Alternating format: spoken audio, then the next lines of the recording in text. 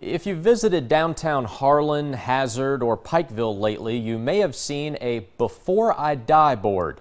The boards are a national trend, and Bluegrass Hospice is sponsoring the idea across the state. WYMT Sarah Anderson takes us to Harlan County, where dreams are written daily.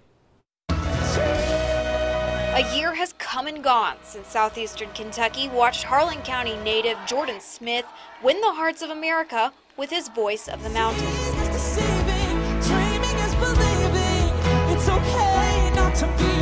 And one simple thing is passing along hope to others in his hometown. He really inspired me to go and, you know, put myself out there more, and he showed me that it's really possible that you really can do it. Brooklyn Collins is writing down her goal to share with her community on the Before I Die board.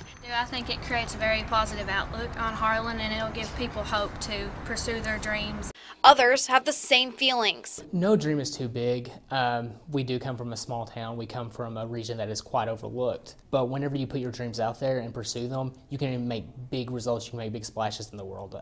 This board and these pieces of chalk will not make dreams come true, but folks say there's something special about sharing aspirations with other people. When you write down your dreams, when you write down your goals, it's one of those things that like it makes it a little bit more concrete. It seems a little bit more achievable. So if you see a board they say don't be afraid to make your mark. They see it, they pursue it, and then it becomes reality. In Harlan County, Sarah Anderson, WYMT Mountain News.